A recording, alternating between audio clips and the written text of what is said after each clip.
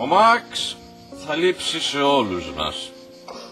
Ήταν αγαπησιάρης, παιχνιδιάρης, μα πάνω απ' όλα ήταν ένας πιστός και υπάκουος σκύλος. Μαξ, κάνε τούμπα